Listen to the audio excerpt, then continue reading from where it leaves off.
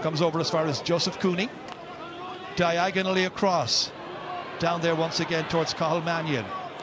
Mannion got the first two points and he's now got a third. Little pass retained there by Barry Nash, who of course played in the forwards for much of his career before moving back to number four. Good dispossession here by Adam English off his left hand side, sweeping it up into the air and up between the uprights and over. And O'Neill then skips away from the challenge of Evan Niland, helped out by Diarmaid Byrnes into the centre here. William O'Donoghue all the way over here. Gearóid Hegarty looks up, sees the target down to his right and drives it up and over the crossbar. Here's Niland, the 25 year old from Clarinbridge. Son is almost attempting to come out here. Crazy day in Galway. It's a good looking one. It's a brilliant one. It's over. It's Galway 17 points. It's Limerick 17 points.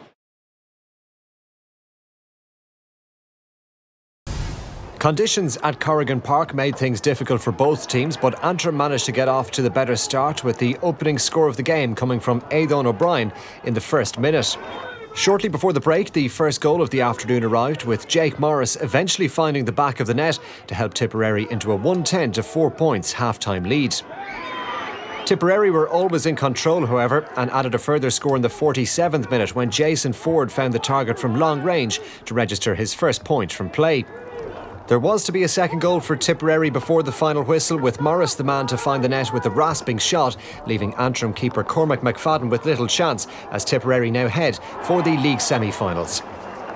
It finished Antrim 12 points, Tipperary 221.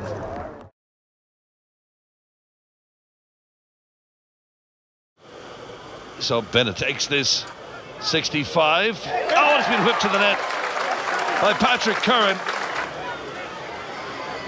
That's a real tonic for this Waterford side. A chance of a, another goal here, and they've got it. Dessie Hutchinson. This is Shane Murphy. In between the sides. Is this the levelling score? It is. Eoin Cody off the left. Shows you the weather conditions in the back of Davy Fitzgerald's jacket there. This is Cody again. And flips it forward. Chance perhaps of a, a goal here for Kilkenny. They're going to have to be content with the point. Kilkenny 18 points. Waterford 2 9. Rebels meant business from the throw in as Kieran Joyce sprinted into space to pop over the first score with just 15 seconds on the clock. Their start got even better as Patrick Horgan played a ball across and Alan Connolly was on hand to see it home. Finally, Wexford got off the mark seven minutes into the game with this fine point from Seamus Casey.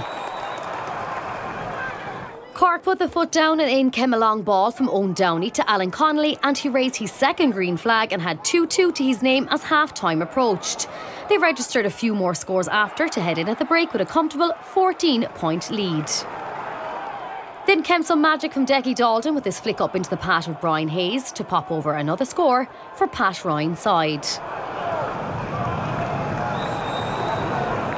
And after numerous goal chances throughout, Alan Connolly eventually got his hat trick. Wexford gained a late consolation goal from Seamus Casey, but it made no difference as Cork finished with a win and a total of 12 different scorers. Full time Wexford 115, Cork 321.